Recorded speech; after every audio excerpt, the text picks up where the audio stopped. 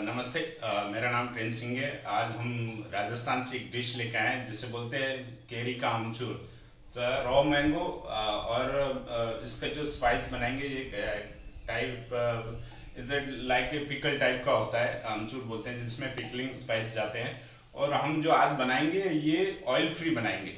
Normally अमचूर बहुत जगह जैसे ऑयल वाला बनाते हैं तो हम इसको ऑयल फ्री और डेयरी फ्री ऐसा बनाएँगे, जो कि हेल्थ कॉन्शियस भी होगा। और खाने में भी अच्छा होगा और समर्स के लिए बहुत ही अच्छा है। तो सबसे पहले जो इंग्रेडिएंट रहेंगे, मैं आपको इंग्रेडिएंट बता देता हूँ। इंग्रेडिएंट में जैसे पंचपूरन बोलते हैं या पिकल स्पाइस बोलते हैं। पिकल स्पाइस में जो नॉर्मली आपके पास अगर है तो मस्टर्ड जीरा, सौंफ, मेथी, ये डालते हैं। और आप इसमें होल रेड चिली भी डाल सकते हैं, जो टेम्परिंग में। तो सब, और बेसिक इंग्रेडिएंट होगा इसमें जो नेचुरल होगा, जो शुगर नहीं डालते हैं, जो गुड़ होता है ऑर्गेनिक गुड़ डालेंगे तो ये देसी गुड़ कहलाता है, इसमें बनाएँगे और मैंगो को इवन काटेंगे। आप जैसे मैंगो की वेजेस काट लेंगे, देख लीजिए वेजेस इक्वल साइज़ होने चाहिए। क्योंकि अगर इक्वल साइज़ नहीं होगी तो कोई ओवर कुक हो जाएगी, कोई रॉ हो जाएगी। सो कुक होने में सेम टाइम लगेगा और टेक्सचर अच्छा रहेगा। तो सबसे पहले हम इसको पंचपूरन को ड्राई रोस्ट कर लेंगे। तो हांडी हीट हो जाएगी।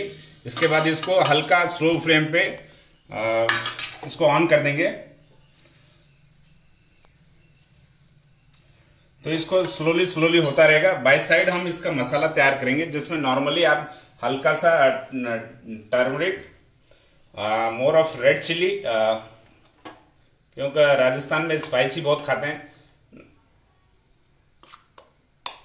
और इसमें सॉल्ट या ब्लैक सॉल्ट दोनों ऐड कर सकते हैं। तो सॉल्ट से उतना होगा नहीं अगर आपके पास ब्लैक सॉल्ट है तो वो ब्लैक सॉल्ट भी ऐड कर सकते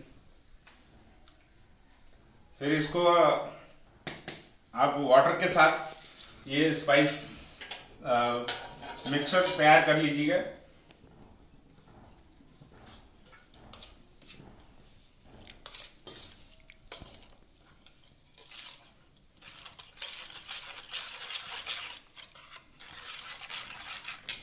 और स्लोली स्लोली ये कुक भी होगा।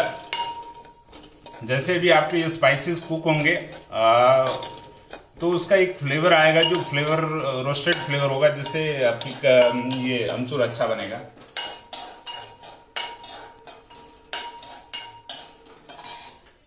स्लो फ्लेम भी कुक करना। अगर आप ज़्यादा फ्लेम पे कुक करोगे तो आपके स्पाइसेस जल जाएँगे और जो स्पाइस का टेक्सचर अलग हो जाएगा, जिससे कि आपकी कोई भी करी बनाओगे, उसमें, जो फाइनल प्रोडक्ट है, वो अच्छा नहीं आएगा।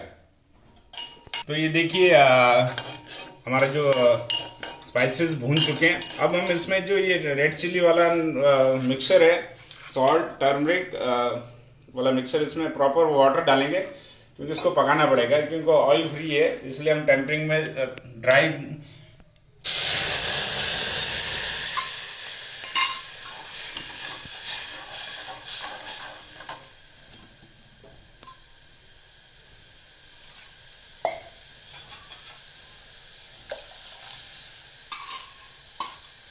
तो ये हमारा मसाला थोड़ी देर में कुक हो जाएगा, उसके बाद हम जैगरी ऐड करेंगे। तो ये देखिए, हमारा मसाला तैयार हो गया। इसके बाद हम जो ये डालेंगे इसके अंदर जो मैंगो है मैंगो वेजेस जो पील करके काटे गए हैं, जो ये ओवर राइप नहीं होने, जैसे गुठली वाले नहीं होने चाहिए। गुठली वाले हैं तो गुठली हटानी पड़ेगी अगर गुठली वाले हैं तो पकने में थोड़ा टाइम लगता है। तो मैं इसको पहले पकाऊँगा, इसका, इसको हल्का सा कुक हो जाएगा। उसके बाद हम जैगरी वगैरह डालेंगे। कोई भी अगर शुगर या जैगरी डालने के बाद कोई भी चीज़ है पकती नहीं है। तो इसको एक बार हल्का सा कुक कर लेंगे।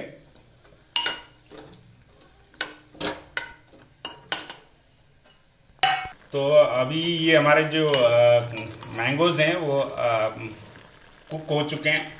तो अब कुक होने के बाद हम जैगरी डालेंगे। अगर आपके पास जैगरी नहीं है तो आप शुगर भी डाल सकते हैं। ये ऑर्गेनिक, जैसे देसी विलेज का गुड़ है, ये होममेड है, ना कि मशीनरी है तो हम इसमें गुड़ डालेंगे। गुड़ नॉर्मली मिठाई ज़्यादा होगा तो आपको टेस्ट जैसा पसंद हो, वैसा बनाइएगा। अगर आप मीठा ज़्यादा नहीं खाते तो कम डालिए। स्पाइसी राजस्थान में स्पाइसी थोड़ा ज़्यादा होता है तो मैंने थोड़ा कम डाला। अगर ज़्यादा गुड़ या शुगर डालेंगे तो एक लॉन्जी टाइप बन जाएगा तो वो डिफरेंट हो जाएगा। लॉन्जी नहीं है, ये कीरी का आमचूर है। और ये स्पाइसी होती है। स्वीटनेस थोड़ा टैंगी को थोड़ा करने, कम करने के लिए बनाया जाता है।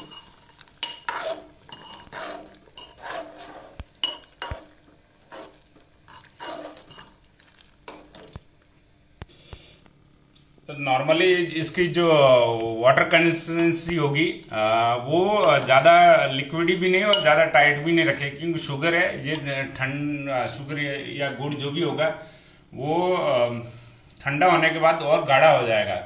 और इसको आप किसी भी ब्रेड के साथ जैसे नॉर्मल एज ए करी भी खा सकते हैं और साइड अकम्प्लीमेंट भी किसी फ़ूड के साथ आप खा सकते हैं और स्टोर कर सकते हैं। अगर फ्रिज में आप स्टोर कर तो चार से पाँच दिन आराम से चल जाएगा क्योंकि इसमें स्पॉयलेज होने के कोई भी चांसेस नहीं रहते हैं। क्यों ये एज ए साइड अकम्प्लीमेंट भी खाते हैं और समर्स में एज ए करी भी खाते हैं।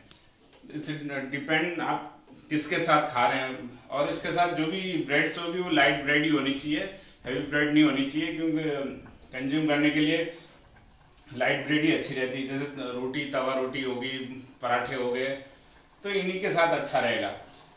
और आई थिंक आपको ये पसंद आएगी होम रेसिपी है ऑयल फ्री हेल्दी और ऑर्गेनिक रेसिपी है। इसमें कोई भी एज एन कोई भी मार्केट वाली चीज़ें नहीं है, सब होम प्रोडक्ट है। Thank you thank you for watching a video